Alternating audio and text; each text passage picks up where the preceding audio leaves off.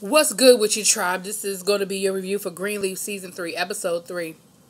Go ahead and hit that subscribe button, and I hope you like this video. so, this is a situation where you know how they always tell you when you get angry about something to calm down, think about it, think it all the way through. This is this is a perfect example of that. So, before you act. So, we start the episode off with the women at the breakfast table. We got Lady Mae, we got Gigi, and Gigi's daughter sitting at the breakfast table and you know G, lady Mae is being she's being her her lady Mae first lady self acting like everything is all good you know not not letting on about what's really going on between her and the bishop telling the daughter the granddaughter you know that is because you know she's giving Gigi the cold shoulder. She's telling the granddaughter that hey let's do let's do dinner tonight me and you let's we haven't done that in a while and i feel like i've been neglecting you and she's like oh that'd be great grandma you know okay so Gigi and her mother start having words. So the daughter gets up from the table. She like, yeah, let me get up out of here. I ain't trying to be in the middle of this stuff. So they get to kind of arguing a little bit. And the maid comes in with a package for Lady Mae. Lady Mae opens it up. It's divorce papers from the bishop. Honey, Lady May asked, she, oh Lord, she got upset. She got her stuff together. Gigi said, well, what's, what's that, Ma? She looked over at her. She said, are you serious? She said, after what you did to me? She said, if you weren't family, the only reason why you still in my house is because you family. I have nothing to say to you.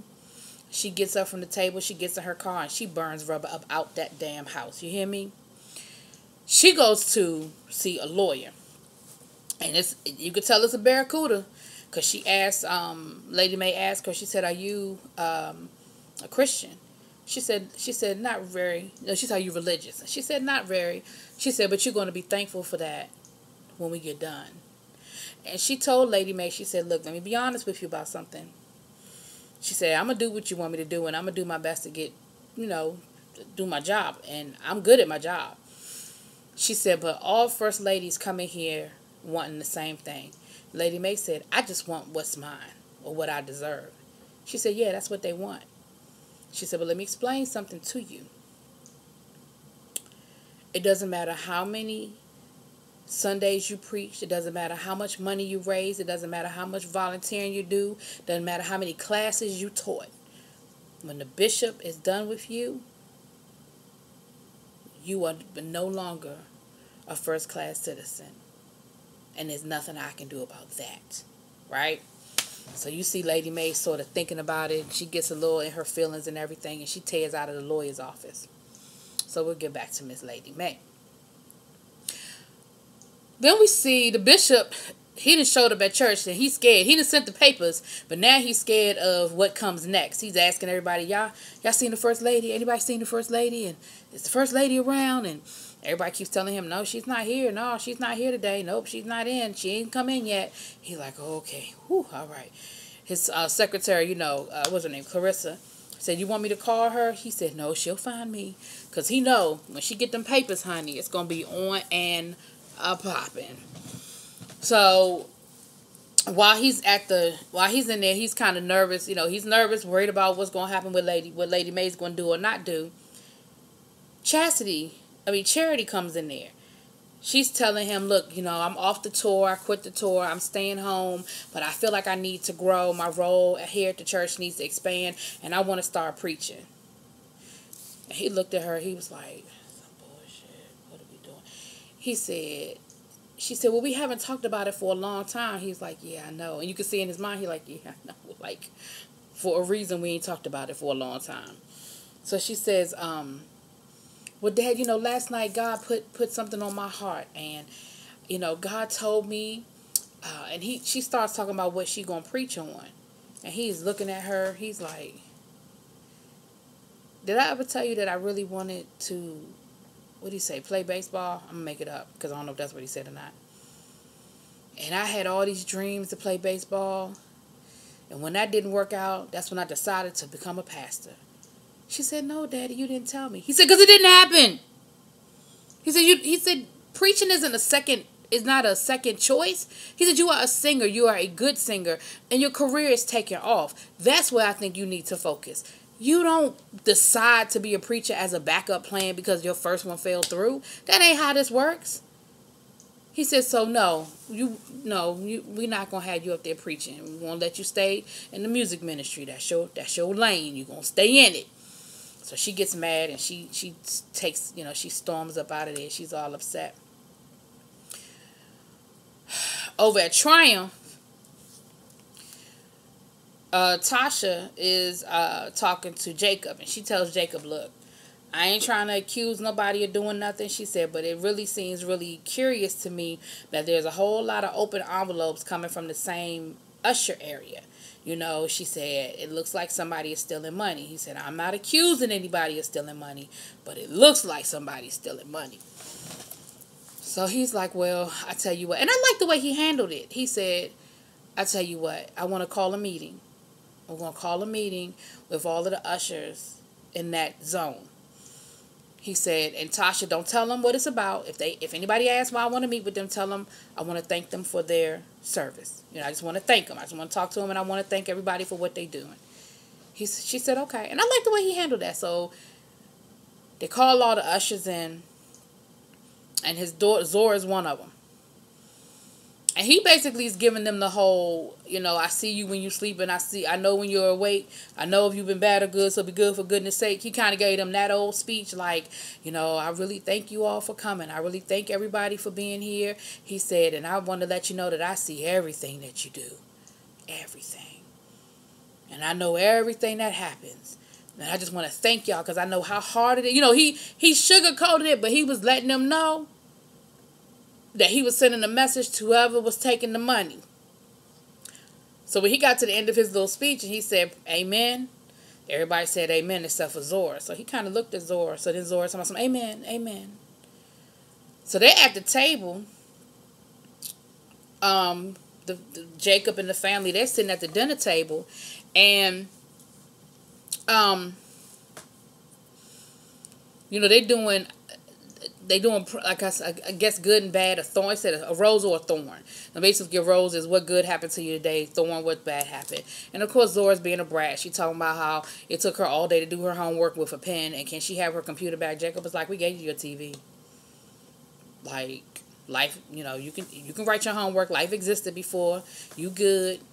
So she's, you know, she gets up from the table. She got an attitude. She asked to be excused or whatever. And and Jacob tells um Cora that I mean, Kerissa, I said Cora, tells Car- Kerissa that he thinks that she's stealing. Of course, Kerissa's like, no, do you have any proof? Like, why would you accuse her? He said, because it didn't start until she started ushering. That's her area that she's ushering in. And the way she acted when I was talking to them today just made me think it was something going on. Like, it just made me feel like something wasn't right. So, you know, Carissa's like, I don't think so, Jacob. Like, no, I don't think, nothing, I don't think she was steal. So Jacob was like, mm, mm-hmm. So at the end of the episode, I'm just gonna skip on let and just finish this up. At the end of the episode, Jacob said, "Where's the money?" He goes in her room and he starts tearing her room up. He's like, "Where's the money?" Because he knows he knows her. Where's the money? What are you talking about, Daddy? No, what are you talking about? I didn't take any money. I don't have any money. What are you talking about? Daddy, please stop going through my stuff. Daddy, please stop. And Kerissa's trying to stop him. Kerissa's like, come on, Jacob, Jacob, stop. You're doing too much. Jacob, stop, stop. Jacob, honey, Jacob hit the right box. Opened up that box, dumped it out. It was another little black box inside. He opened that box up, full of money, tens and twenties. He looked at his daughter. He said, "You lied to me, and you was and you a thief." And he just kind of stormed out because I think if he had stayed any longer, he might have put his hands on that child. And um, so I guess we're gonna see how that plays out. But yeah, that that Zora, honey, and I think she was trying to get money to, to, run away. I think that's what she was trying to do so she could run away. Because at first, I, when when they saw her with the money and she was trying to get um, old girl to buy her a cell phone, I said, oh, okay, maybe that's why she took the money. But when you saw that all the that she kept stealing the money, I said, yeah, she's trying to put a plan together. She's trying to run away. So anyway, let's go back over to that. So that's what was going on at Triumph. So let's go back over to, um, y'all know, the church. So all this is going on. Lady Maiden went to see the lawyer. So Lady Mae drives up to a little little bar. She goes to the bartender. She orders herself a brandy Alexander. Let me tell y'all something. That I used to love me some brandy Alexanders. That used to be my shit back in the day. I love me some brandy Alexanders. I knew exactly what she was ordering, but the bartender didn't know. He wasn't familiar. She said, "I tell you what to do. You're gonna give me this much vodka, this much cream, and throw a little nutmeg on top, and there you go. And keep them coming, honey." Lady Mae was sipping on her brandy Alexanders at that little blues bar listening to the music. Honey. She got to talking to, she invited some women over to sit with her and she got to telling them her story.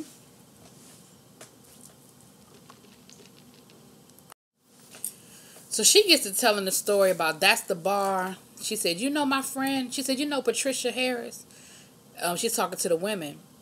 And they say, yeah, Pastor Harris, we know her. She's got churches, you know, she's all over the TV. She said, yeah, that was my friend. They be like, you know her? She said, yeah, we used to be really good friends. She said, and after college, we decided we were going to go to divinity school. And we both applied to Howard. And we both got in.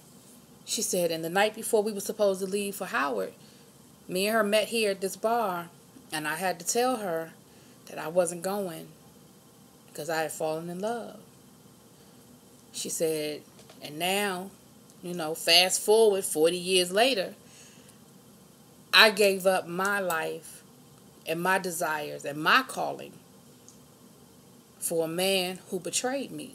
So she kind of telling all her business, and they kind of looking at her like, "Oh, damn, man."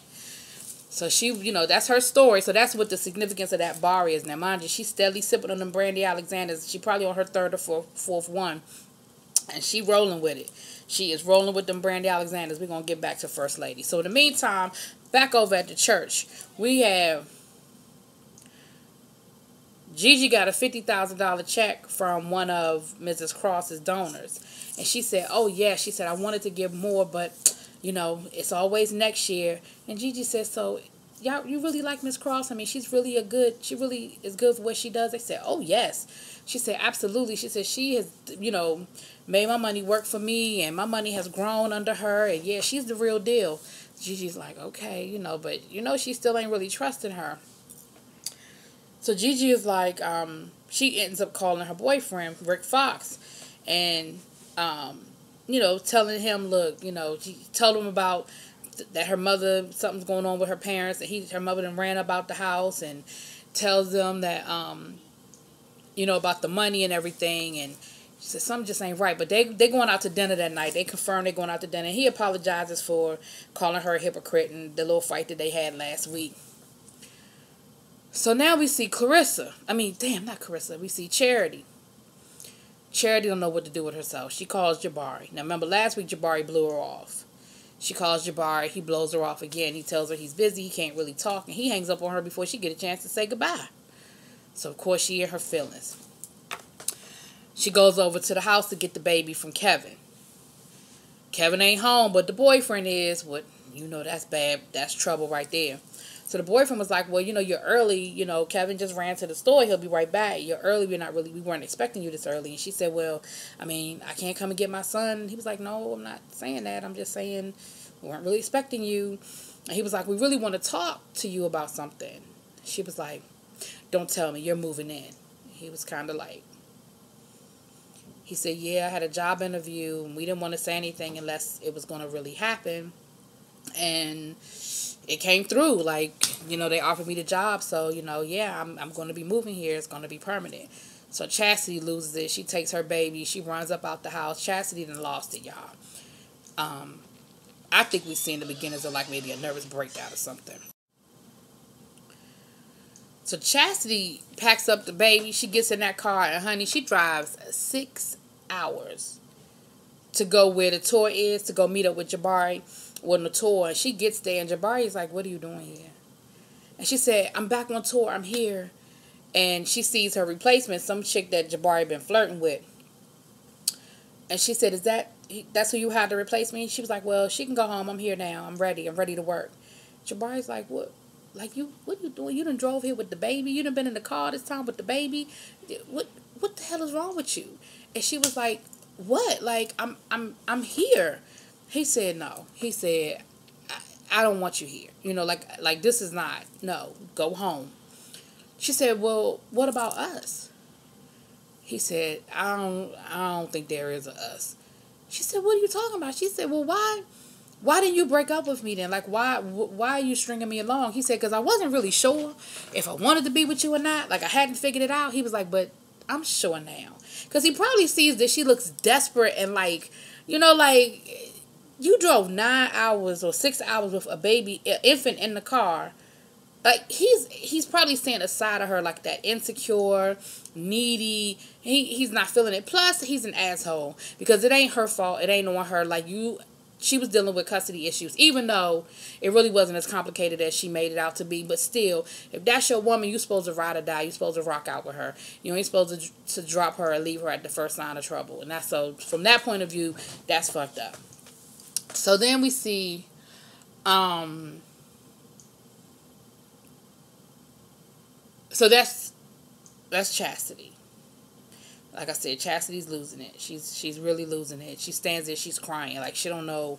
Now she really stuck. She's you know her her ex gay husband then found happiness but he got found himself a, a, a boyfriend a lover.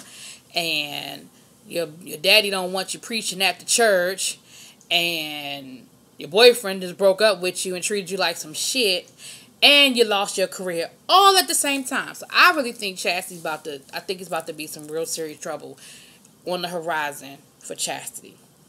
Alright. Back over to Triumph. Y'all, all kinds of stuff going on in this episode. So the bishop goes to see Jacob. And while he's visiting Jacob, he tells Jacob what he did.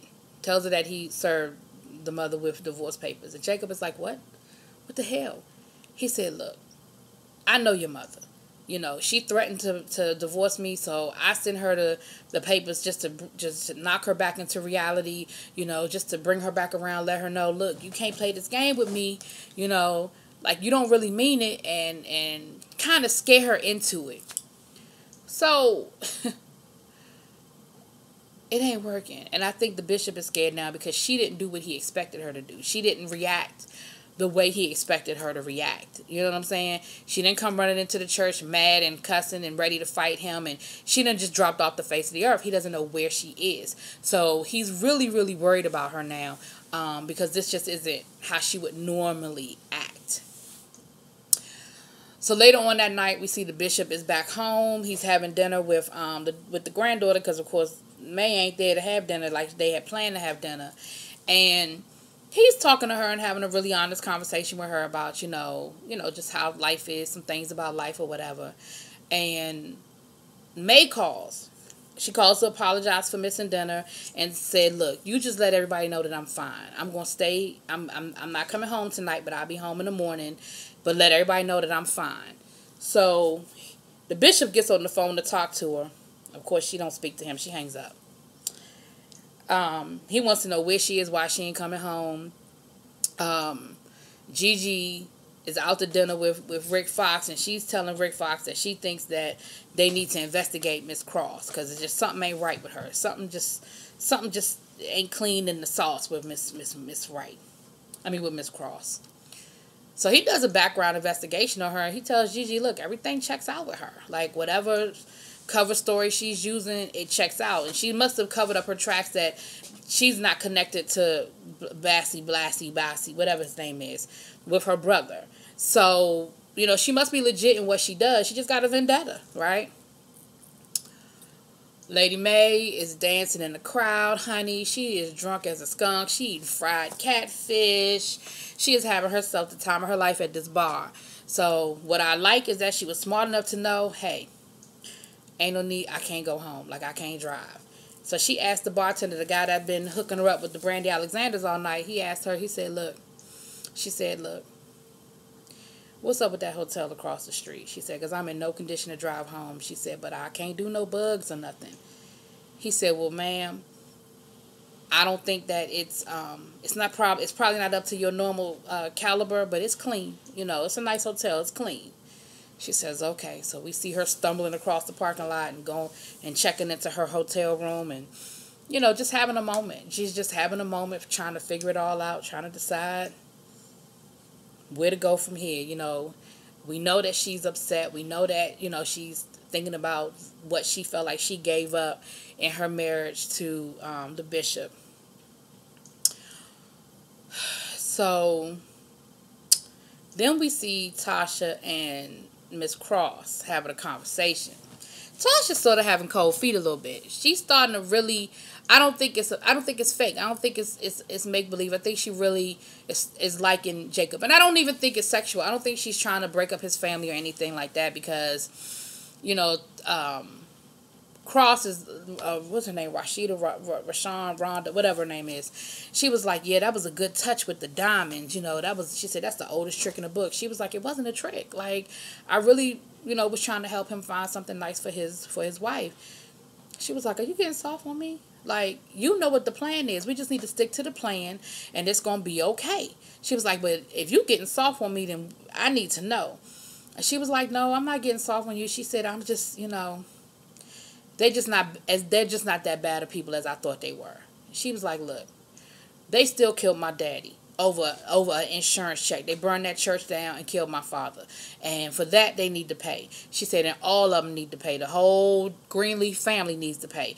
The sins of the father will be visited on the children. Basically, is what she's saying."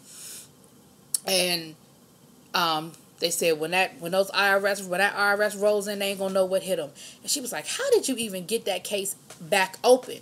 So that tells me that they did take care of the tax situation. But she said, "Well, I know some. I know people in high places, and she was able to get the case back open." She said, "When they come rolling through there, they ain't gonna know what hit them." She said, "We just gotta stay the course. We're right in this."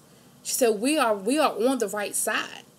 I'm doing nothing wrong. I'm just trying to get vengeance on what they did to me and my family.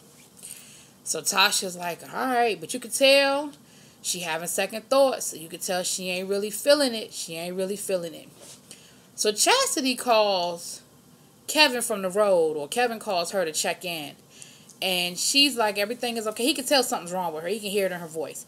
And he's like, everything is okay, you know. He said, well, Chastity, where are you? Charity. I keep calling that girl Chastity. He said, Charity, where are you? She said, I'm on the road. I'm on tour. Now, mind you, I know she ain't on tour, right? Jabari didn't told her ass to go home. So essentially, you did what Kevin told you not to do, and then you lied about it. So you, even if you were really on tour, was still wrong because Kevin told your ass not to go. But now you ain't even really on tour. So I told y'all she done lost it. We're gonna see how this whole thing, how it all boils down, honey. So, last but not least, Lady Mae, she shows up. She goes back to the uh, church. She tells, um, what's the woman, the girl's name, Carissa. She said, yeah, schedule the jet for me to go to Atlanta. I'll be going and coming back the same day. I need to go visit somebody. And I guess she's going to go visit her girlfriend, that the, the, the, pre, the pastor, the female pastor that she was talking about, who's going to be Patti LaBelle. And she goes in to talk to Jacob, and Jacob said, Mae, I'm so sorry. I mean, not Jacob, the bishop. She said, I'm so sorry. I should have never sent those papers. I apologize. I just did it in anger, you know, and I, am sorry. You know, it's, it's, let's just work this out. Let's just forget about all of this and let's sit down and work it out. She said, Oh, no, no, you did me a favor. She said, I, I appreciate what you did. She said, You did me a favor. You made me remember what I need to do she said, um, You took my calling from me. I was called to, to pastor, and I gave that up for you. And so now I'm going to reclaim what's mine. She said, My lawyer has made some notes in the margins. You go ahead and give it to your lawyer and let them work it out. Good day. Honey, you could buy the bishop for five cent and a nickel. I said five cent and a nickel. But yeah, I mean, you opened up Pandora's box, Bishop, and she walked right through it. She didn't do what you thought she was gonna do. You thought she was gonna throw a fit and do what y'all always did. But see, you can only push somebody but so far so many times. Now let me say this though. When Mae went to the lawyer, she tried to make it seem like this was all one sided. You had an affair too. Now, you might have had your reasons for having an affair. You might feel like your reasons were justified, but that don't change the fact that you had an affair. Okay, okay. So that's what happened last night on Greenleaf. Y'all let me know how y'all think. What y'all think gonna happen to Chastity? I think Chastity's having a nervous breakdown, and it's a shame that she's got that baby. It's bad enough to have a nervous breakdown when you by yourself, but when you have a child, that's a whole nother conversation. Anyway, y'all let me know what y'all think. Drop it in the comments.